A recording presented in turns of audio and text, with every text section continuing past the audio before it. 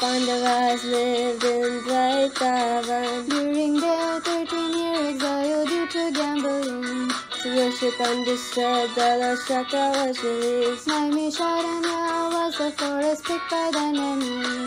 Chant the holy name of Lord Shri Krishna and the tigers so.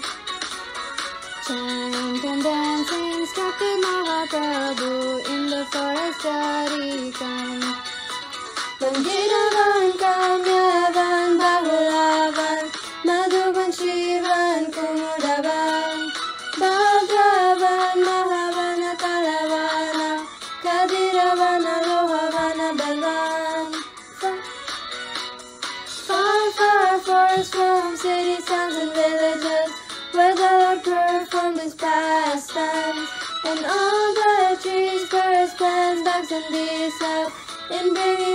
about what the Lord.